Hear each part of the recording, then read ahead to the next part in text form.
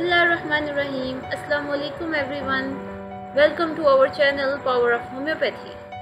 Today we will discuss the difference between heat exhaustion and heat stroke.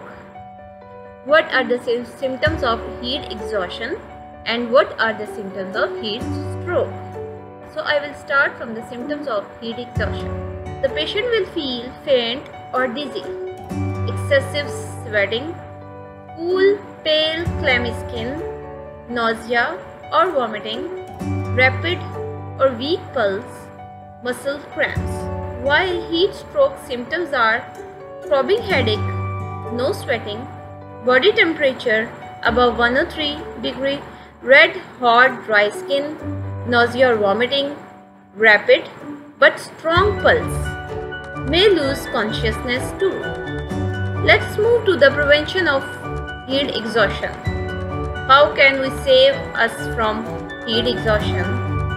Get to a cooler, air-conditioned place. Drink water if fully conscious. Take a cool shower or use cold compresses. While in case of heat stroke, you should first call the medical emergency.